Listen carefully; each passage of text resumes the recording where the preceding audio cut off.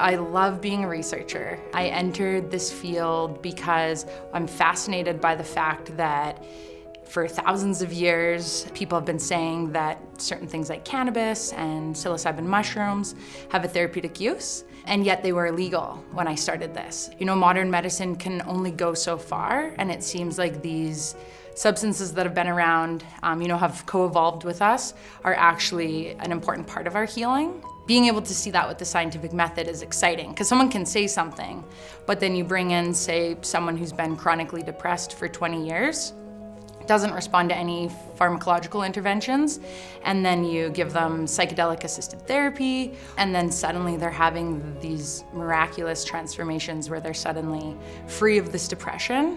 It's extremely exciting, especially as a clinical psychology student, uh, to know that these tools are maybe going to be available for our use.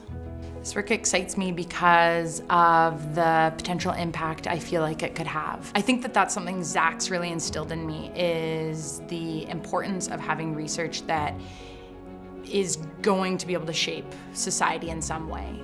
The best thing about working with Zach is him believing in me more than I believe in myself and, and sort of taking the ceiling off. There's no limits when you work with Zach and you can look at Zach's CV and see all of the ways that his research and research out of our lab has shaped cannabis policy in Canada, being cited in Supreme Court cases. And I hope, really hope that my research can go on to have a similar impact.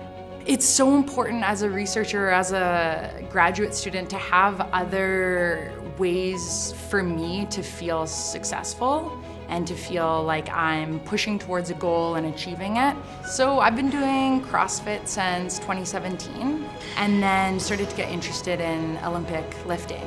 And so, you know, for the last several months, I've been engaged in various Olympic lifting strength programs so that I can really take my CrossFit to the next level. I hope to continue doing research for a really long time. I think no matter what my profession is, whether that's at a university or at a hospital or in private practice, that'll still have a large chunk of my time devoted to research.